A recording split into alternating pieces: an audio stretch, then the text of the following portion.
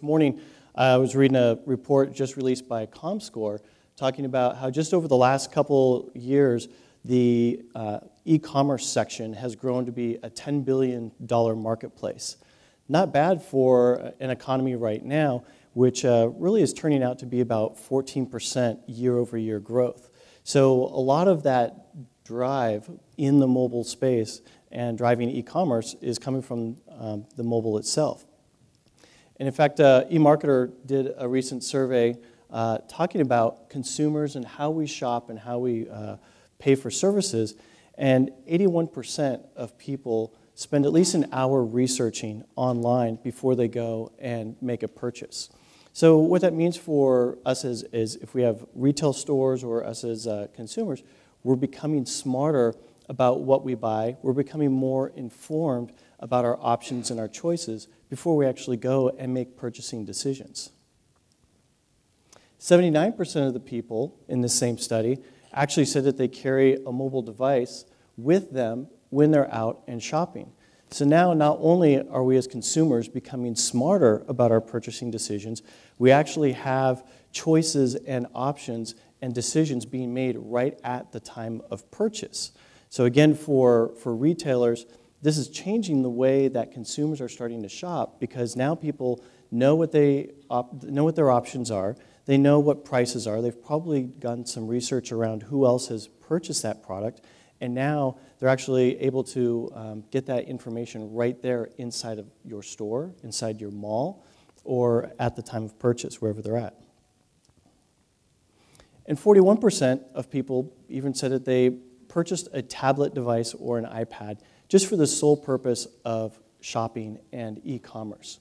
Kind of an amazing fact that a lot of people are buying this just for a purchasing, uh, for it to be able to go shopping. But what that also means now is people are able to shop no longer just sitting at a computer at home or at work, supposedly during lunch, right?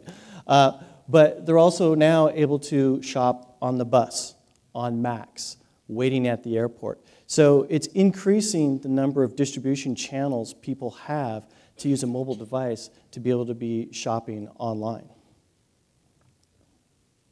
Let's take a little bit about what has happened with our currency. Uh, money hasn't really changed a whole lot over the last several centuries. We started off way back in the early first days, really just as a bartering and trading type system. Uh, we didn't really have any standardized value of types of services. I wanted some fish, but I had some corn seed to give. And so we traded. There was no consistency of money or monetary value across territories and countries and regions. And we basically put our own value of what we thought was on top of that uh, currency or the exchange.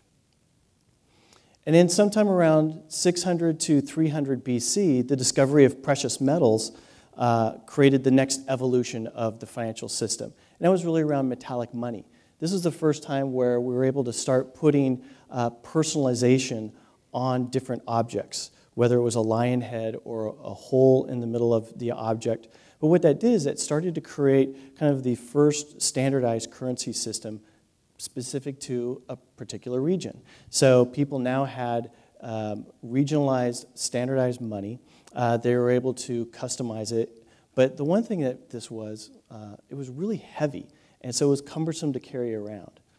So then the next evolution came after um, mass distribution of paper. We had paper money. And paper money was pretty cool because now you can carry mass quantities of this in your pocket. And it wasn't so heavy as carrying around gold bullions and uh, all those gold bars and, and so forth.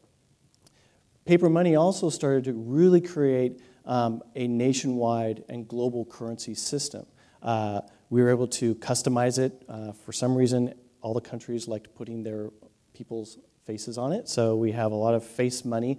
Uh, but it also created different values, and we were able to carry bulk quantities of this around a lot simpler than, than gold.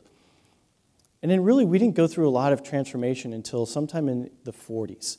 Uh, a prominent businessman was out to dinner and was just closing a very big deal. And he was getting ready to pay for the bill, realized that he didn't have any money in his wallet. And from that experience was the birth of the first credit card called Diners.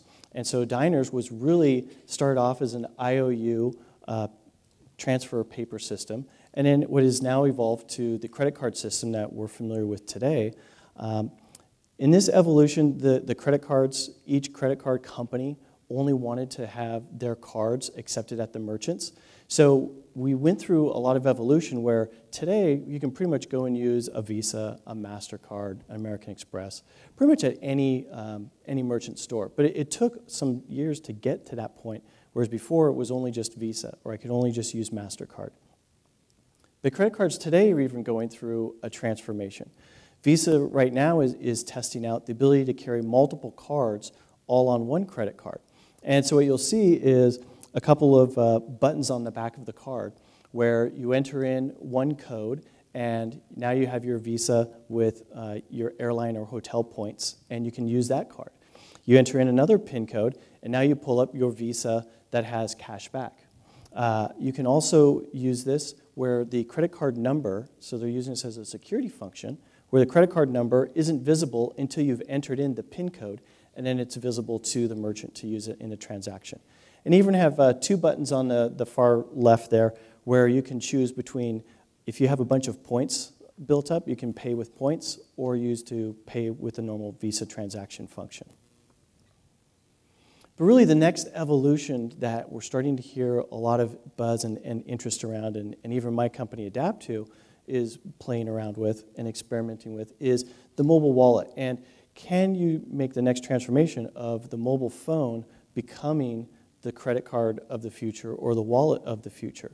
Uh, and we'll talk a little bit about just what's driving some of this and some of the technologies behind this type of function. So, if you look at the future of money, um, again, a, a, recent survey done by Google or um, PayPal was showing that uh, 60% of people don't want to have an ATM to go and pay someone with trying to, you know, I owe 20 bucks to my friend for going out to dinner or something like that. Uh, it's hard to go and find an ATM when you need it. So being able to do peer-to-peer payments or pay somebody else with a mobile device, 60% of the people said they were, were willing to do that. 56% uh, of the people said that they would be um, never use cash again or never use a credit card again. So uh, they didn't want to carry cash around. And that's kind of an interesting fact, where people are actually going to more of a cashless society and just using credit or credit cards. Uh, 43% said they never wanted to carry cash around with them, and even 38% said that they would be comfortable buying goods and services with a mobile device. And mobile spending globally is on the rise. So while it's not prevalent here in the United States quite yet, it is in some other countries. And this year alone, it's projected to be a $46 billion uh, industry with people spending transactions on there. And we'll talk a little bit about what's driving a lot of these, these online payments. But over the next couple of years, uh, projections are showing that a lot of new um, adoption around mobile and the use of online payments is going to continue rising. So if you look at who some of the most trusted companies are today in the mobile device, um, not too much of a surprise here. The, the major credit cards uh, are considered the most trusted uh, advisors online with mobile payments Visa, MasterCard, American Express, PayPal. And then you have kind of an interesting one the U.S. Postal Service. People trust the U.S. Postal Service for online more so than Apple or Microsoft. Uh, and then you have Google. The other interesting component you'll notice here is Motorola. So Motorola is the only mobile carrier to be listed in this survey as one of the most trusted brands so far. A couple of things driving that is there's a technology called near field communications, or NFC, that is only available today on Google phones and predominantly uh, with Motorola. So, what near field communication does is that's the technology that's built into a lot of the credit cards where if you see um, the credit card stand at the cash register you can go and tap the credit card and not have to scan it, that's done through near field communications. And today that's built into a lot of the, the Google phones. Apple does not have near field communications enabled yet. There was a lot of buzz around this year's release that Apple uh, was going to have near field communication built into the phone. Um, obviously, they didn't come out with the iPhone 5, which a lot of people were anticipating, but they came out with the iPhone 4S. So if Apple decides to embed near field communications, look for how these numbers might change over, the, over time. The other interesting piece on here is you have Facebook. And we'll talk a little bit about how Facebook is actually changing the monetary system and the way that we also shop and buy for goods and services. So, again, in Europe, near, near field communication and online payments are becoming more readily adopted. Uh, there's a lot of pop up storefronts taking place. And uh, according to this article, they're saying that that will be the leading uh, method by 2016. And this summer, in the Summer Olympics and in London, uh, look for mobile payments to also be a big driver at the, uh, the London Games as well. So, again, if you look at adoption across the different global economies, right now, Asia Pacific and EMEA are driving a lot of the mobile uh, payment space. They have been doing this for several years. Well, here in the United States, it's just starting to, uh, to take hold. But what also is, is you look at the adoption curve. And while we're seeing growth across um, all of the, the major global regions, once the technology has taken hold, look at the difference of adoption between in Asia Pacific alone, just from, from 2009 to 2010. So, again, once the adoption curve is going, people are seeming to find it more and more convenient. They're also becoming more and more comfortable as uh, the security functions and so forth get finalized in there. So let's look at pop up storefronts.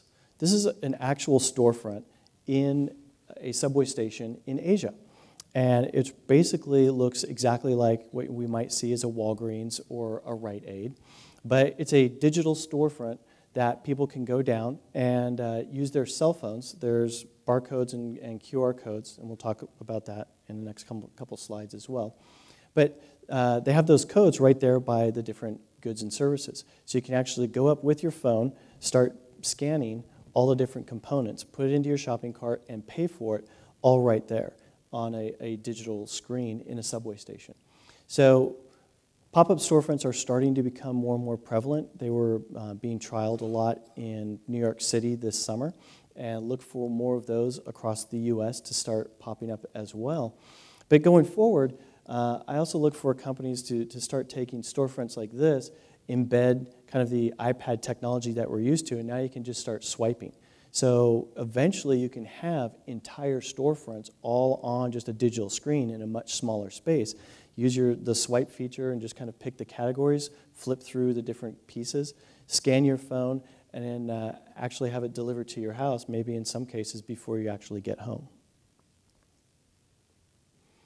But even in the US, uh, mobile payments is still uh, taking off in certain areas. Uh, anybody have the, the Starbucks app on their phone? Okay, a couple, couple folks. So this morning, uh, put my computer in the office and uh, walked by Starbucks, pulled out my mobile phone, and uh, on it I have the Starbucks app, which you see right here. And you actually have it linked to the Starbucks reward card. It has actual monetary value on it, and you can then scan it right there at the Starbucks and never have to pay cash for it. So, um, again, it's starting to take online mobile payments in an actual form here in the United States. Uh, to date, uh, when Starbucks initially launched this at the beginning of the year, they had over 3 million downloads in the first couple months alone. So, massive adoption on uh, one of the apps here, and it's still considered one of the leaders in mobile payments uh, taking place in the United States so far. So let's look at some of the types of mobile payments that are, are taking place today. Uh, the first one is actually just we were talking about with uh, the Starbucks app, the mobile wallet uh, actually being on your phone. And this is replacing the credit card uh, replacing paper money, and being able to take your mobile phone and walk right up to a point of sale at a restaurant, a merchant, uh, a store, and be able to pay for it. Now, you have some of the obvious players in this space, such as MasterCard, Visa, American Express, even Discover. And then you have a couple of others that you might not expect. Google, for example. Uh, Google just released what they call Google Wallet over the summer. And what they're doing is actually enabling transactions, but partnering with some of the, the cell phone carriers and being able to have a Google Wallet function right there on your phone and go in and transact and actually pay for a service. You have another company on here that probably most people haven't heard of called ISIS. And ISIS is the cell phone carriers. They didn't want to be left out of the mix as well. So what they've done is a lot of the cell phone providers have formed a separate company called ISIS where they'll start to use the mobile payment and the mobile billing as the component. So now the cell phone providers want to be a bank as well and providing transaction services for you. Here's an example of Google and a partnership that they've recently created with Coke, and they're enabling mobile vending machines. So again, if you have the Google Wallet app downloaded, you can go up to a uh, Coke-enabled vending machine and actually hold your mobile phone up there, scan for it, and uh, receive their products. Again, look for Coke and Google to have huge presence this summer in the, uh, the London Olympics. And uh, we'll see, be interesting to see how they start really um, growing this service. The next type of, of mobile payment is actually replacing the cash register. So, a company called Square, which was formed by uh, one of the former guys that started Twitter, actually wants to replace the cash register. And this actually enables a cell phone or an, a tablet device to become the cash register. So now companies like NCR that have been around for decades and have had cash registry machines are being disrupted by small companies and startups such as Square. Uh, we have other companies like Verifone that are trying to get into this space as well. So you're seeing a lot of adoption within small and medium sized businesses where maybe the cost of opening a store is becoming cumbersome. And I want to buy a huge cash register type system. I'm just going to get a Square device for free, plug it into my iPad, and now I have instantaneously a new cash register right there. The Square device enables the, the iPad to become that cash transaction component. The interesting thing about Square is if companies figure out a way to replace the credit card, Square's either going to have to change its business model to not accept credit cards and accept just a mobile payment, or companies like Square could start up and disappear all very quickly, depending on which direction um, all of this takes place. Another type is, is mobile payments themselves. So again, just the, uh, you know, back in the 40s, if this technology existed, the guy that started the Diners Club card would have been able to just take his cell phone and use bump technology. So if anybody has the um, LinkedIn app on their, their mobile phone, LinkedIn has a, a bump feature where you can actually take your information on LinkedIn and bump it with another person's phone. It's really more just proximity based. But you're able to transfer your, your um, basic business card from your LinkedIn profile over to that person you're bumping with, and vice versa. So, finance companies are figuring out ways to utilize that technology and start peer to peer payments. So, sometime in the near future, you'll be able to just bump phones, and now when you go out to dinner, no one's trying to like how to split bills three, four, five ways. Everyone just bumps phones, and uh, you just make one payment. And you got several companies in here: uh, PayPal, Serve, Dwolla that are all starting to mix around into this space. So, again, another very disruptive space taking place in the financial sector is around peer to peer payments. Direct carrier billing. Uh, basically, you know, put it on my bill type functionality is another big disruptive area. Um, Angry Birds, Farmville really started creating this whole new concept of in app purchases. Uh, we start getting push technology on our cell phones. So you've downloaded an app and you're starting to use the app and you want to unlock some new functionality. Uh, you can actually might have the app for free and then you pay up for certain functions or, or services. And so now you have cell phones using push technology to be able to let you transact and buy that right there on the spot. Um, within Angry Birds and Farmville, people are buying $4.50 tractors, and I need seed for crops. Um, again, companies like Facebook have literally created in just the last couple years a whole new distribution platform for how we exchange and use money online.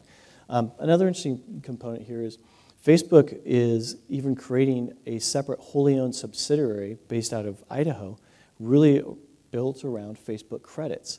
So even Facebook thinks that there's some big disruptive happenings taking place in mobile and finance and technology. And uh, they've even created a whole separate company around that to start um, building against it.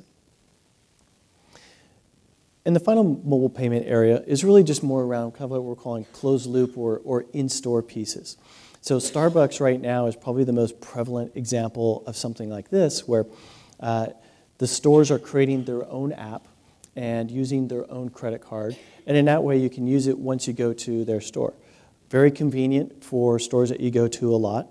But again, one of the problems here is now, if you want to start, if all the merchants start doing this, your mobile phone becomes just as inconvenient as your wallet, where you might have these huge, thick stacks because every company has their own rewards card and their own reward system. So every time we go to Freddy's, and every time we go to Target, and every time we go to Safeway or Albertsons, everybody has their own cards that they want you to use.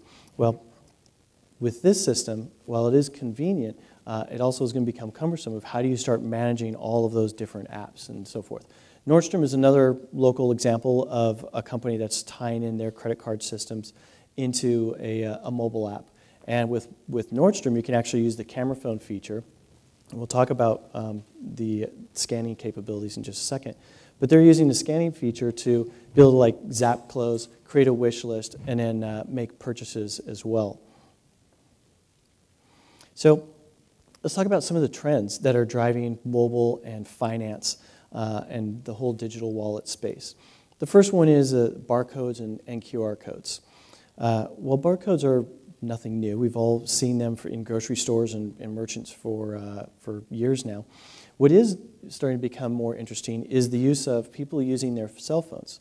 So remember in the earlier uh, part of the presentation, 79% of the people actually carry a cell phone with them at the time of, of purchase and when they're shopping. So now what people are doing is starting to use their cell phones, scan the barcode, and be able to look up where else might I be able to buy this product and who might have it cheaper.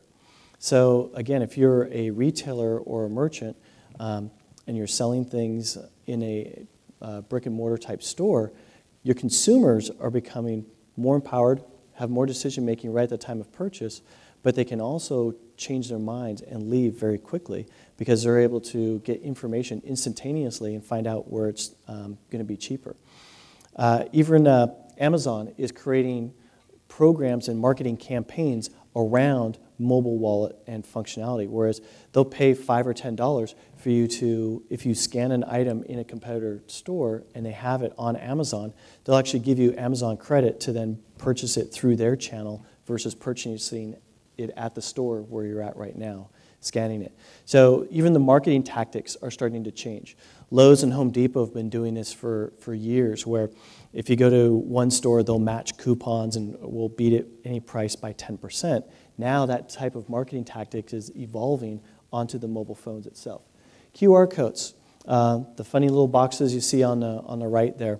Uh, last year was probably the first year we've started really seeing some of these uh, just start to, to pop out. This year they're becoming much more prevalent. We see them in, in magazines, we see them at storefronts, we see them in mailers and, and on flyers. And it's another way to, to be able to provide information and, and store it right there uh, online and be able to have consumers become smarter about your product or service. Look for in the future for QR codes to become even more intelligent, where let's say I, I scan it and now it might take me to a video and it shows me the product in motion. Uh, you also start seeing companies such as Apple playing around with, with 3D technology. So I might in the future scan a QR code, hold up, hold up my iPhone, and be able to have the image right there and be able to spin it around or at least look at it and then be able to see a video image of that product. So, very interesting things happening with mobile technology and how we're shopping and the use of this technology going forward. Geolocation is another way that merchants and mobile are starting to uh, merge together.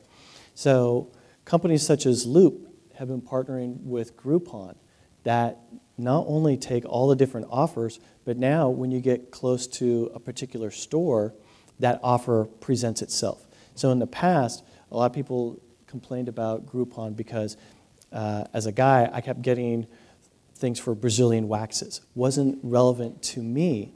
What you're able to do is, uh, okay, a couple tweets from that, I'm sure, but, um, but what, what, that, what that's creating is it's allowing companies now to create more personalization. And it's also being able to personalize when I'm close to that store. So it doesn't matter if I might not be interested in an offer if I'm all the way across town, but if I'm walking past a certain merchant, I might be more prevalent to make that purchasing decision. Foursquare and American Express, two companies you wouldn't really see combining together, Be at uh, this spring, this past spring in Austin at the South by Southwest conference, those two companies released a uh, interesting trial where you can take your American Express card um, sync it with Foursquare, and now when you go to certain merchants and you check in, you're able to receive a discount if you use your American Express card. So it's taking a very popular geolocation application, such as Foursquare, and people checking in, and now it's giving some sort of a monetization and a reason to continue checking in by giving me discounts uh, when I do that. In social based and community based commerce, again, uh, on the, the left hand side is an image of, of people shopping in Europe and how they're able to actually start using their phones, scanning it. Uh, but now what they're doing is you're able to go to communities and start seeing who else has purchased this. Uh, what did they have to say about it? You're able to have ratings. You might be able to have offers right there at the time of need when you want it. Sears was even doing something interesting this year where before you make a purchase, they were actually guiding people into the Sears community so that if you had additional questions, they're using community now to actually drive and enhance the purchasing decision. So they know that if people are going to take the chance to scan an item, that if I don't end up buying that item, I'm really unlikely I'm going to come back and purchase it because there's too many ways for other merchants to steal my business or entice me to go somewhere else. So Sears is using the community to answer any questions I have, make sure I'm comfortable with the product, and then continue guiding me through the purchasing process. And then we have gamification. So we talked a little bit about, about Foursquare. Uh, there's other companies such as SCVNGR. Now, SCVNGR is a company that uh, just started over the last year or so, and it really is taking the concept of a scavenger hunt. But it's using geolocation and it's using the fun piece of games. So now you might have a trivia piece, and then you have to go somewhere and then check in. And then when you check in, you unlock the next clue and you can move around. And a lot of big brands are starting to uh, use this service to make it fun. Uh, with Coca Cola, go and find machines um, for Coke and so forth. Uh, car companies are doing this, where you can drive around town and unlock different components of that and then learn about the car itself. So look for continued gamification in these types of areas, but also blending of the other technologies we're talking about, such as barcode scanning, geolocation. On the, the right-hand side is even how corporate enterprises are starting to use gamification. And this is a, a little screen capture of how a company is enticing salespeople and using gamification around that. This was actually built on Salesforce.com. So no longer are a lot of big companies just on the CRM side of things, but they're actually creating products such as Salesforce created Chatter, which they're basically calling it Facebook for business. Um, but here you see that you know Mark is a salesperson. He's at level 10. They have a, a uh, bar that's showing how much utilization he's done for his sales. He has badges around the things that he's earned or that he's done. And then they also have areas for improvement, elements of coaching, all right in there. So now they're using gamification techniques to even encourage salespeople and businesses. We also have intelligent recommendations. Uh, and look for this to even continue growing. So we have companies like Netflix and Amazon, which will take ratings and let you, lets you rate movies. And then based on your ratings, they'll make recommendations on other movies that you might like. Based on the movies that you've downloaded in, in the past, they'll make recommendations on other movies that you like as well. Amazon earlier this year allowed you to sync, for, uh, sync, sync uh, Facebook with Amazon, and now you can on, now you can also see products and services that your friends have purchased that you might like as well. So again, interesting ways here around the implicit pieces of recommendations, people who also bought this uh, similar to you, and as well as collaborative or community-based recommendations. Here's friends of yours that have bought this that you might also as well. A couple of Portland companies that are doing interesting things around mobile. Um, as uh, the announcer had mentioned, we actually, Adaptu just launched this morning our mobile wallet into the iTunes store. Uh, what we've done is taken the aggregation functionality of all of your finances. So instead of having to go around to multiple different websites and track all of your finances, you're able to do that all on the .com site. We also now have a mobile phone, which you can upload all of your different financial accounts and view those. We utilize the camera phone function, so all those different rewards cards. Uh, for those like myself that travel around a lot, I have uh, rewards points with all the hotels, all the airlines. It gets to be a pain to carry those around. Uh, now I can link all those into a mobile phone. I even have my Best Buy Reward Zone card linked up in there. So now I can keep track of all my different rewards points and systems. And it helps me track cash flow and see exactly how much money I'm spending. One of the unique things that, that we did is we put some uh, future uh, predictions in there around not only how much you're spending today, but taking a look at recurring bills and expenses that you have, such as uh, mortgage and rent, maybe your car, um, your different bills and utilities. So let's say you might have $500 left to spend, but in actuality, you still have to pay your mortgage and rent, and you still have a car payment. So technically, you're really $500 in the hole right now. And that's some of the unique functions that we built into our mobile app just to help make things a little bit more convenient for folks. What we've done though is, is we don't have any of the transaction components. Uh, there still is a lot of movement and volatility taking place in there. So we've purposely held back on any of the transaction pieces, more for a security reason right now, but also just to wait and see how all that space uh, tends to shake out. Another interesting company uh, doing some cool things on mobile and helping enable all of this uh, is Urban Airship. And Urban Airship is doing a lot of neat things around push technology and what they call rich push technology. So push is if you have a, an application uh, or like an iPhone, all of those red circles, so an app alerting you that something has changed, a new version is there, uh, you'll have that. Urban Airship provides that for uh, a majority of large applications and companies building apps. And then they also are the provider of that will push out that notice. So when we talked about the uh, example of in-app purchases, you're able to hit that button and make that purchase. Um, all, a lot of that technology is driven by Urban Airship. So a couple of quick things to consider uh, how this is starting to affect people is how do your consumers today interact with your brand? Do they shop online? Are they using the mobile phones with your brand at the time of, of purchase? And how might that affect your business?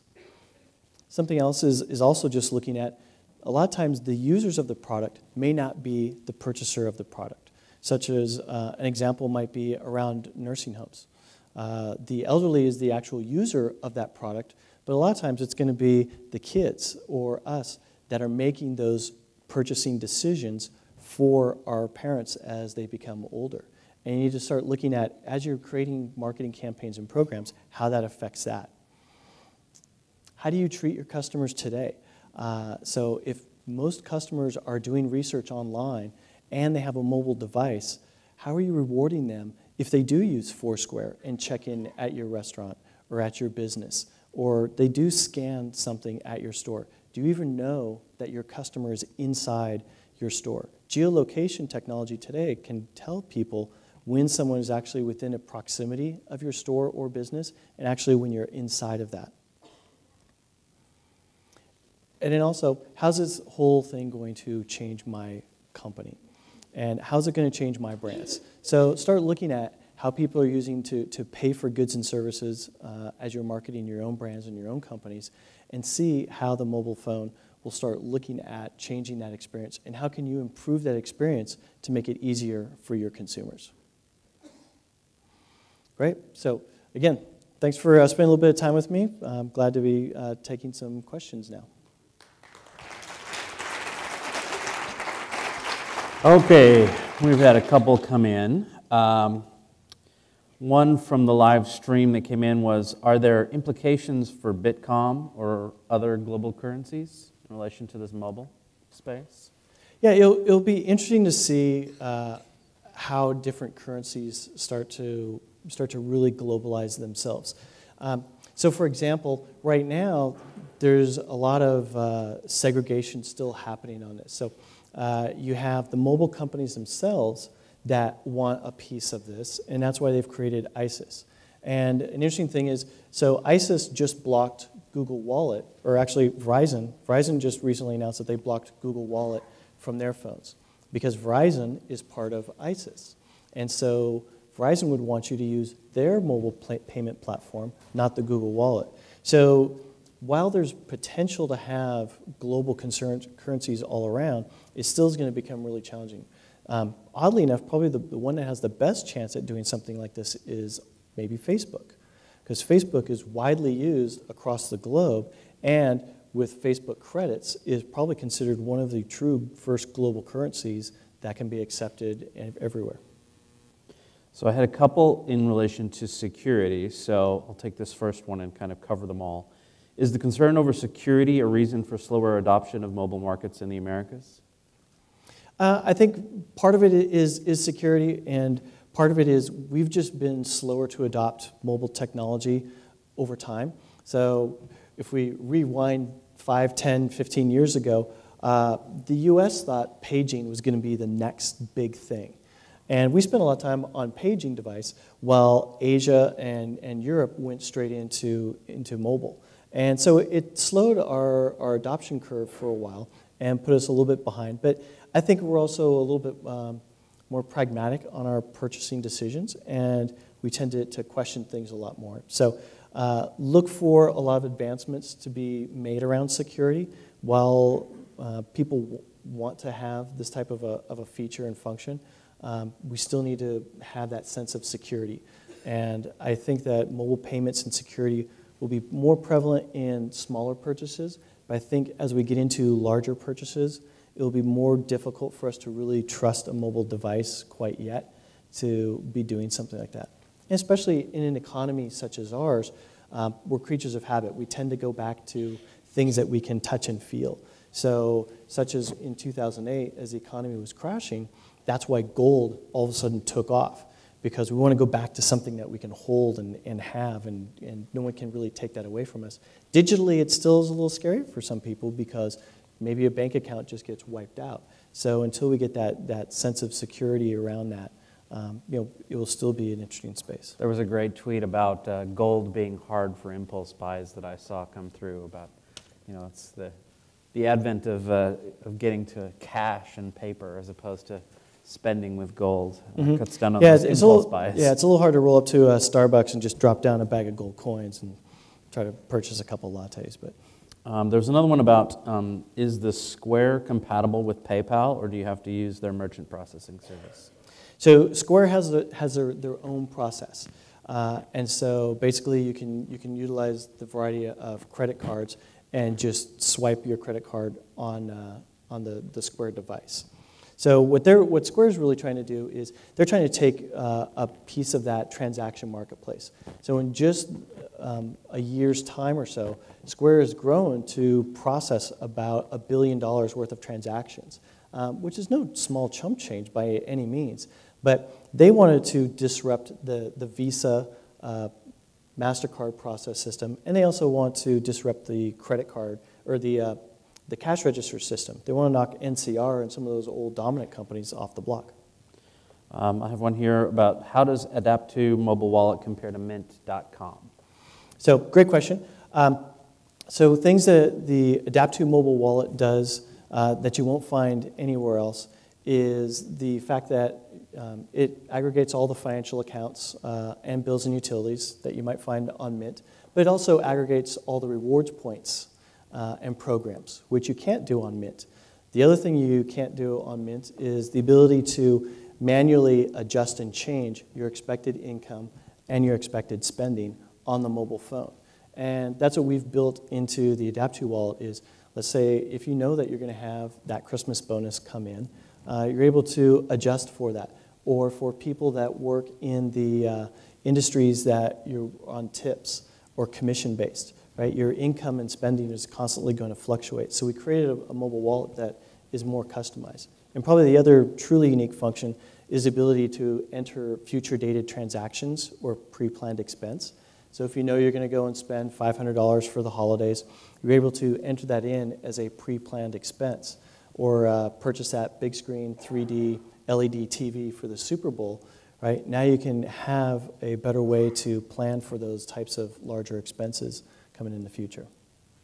All right, well, thank you very much, Mark, everyone. Great. Thank you, guys.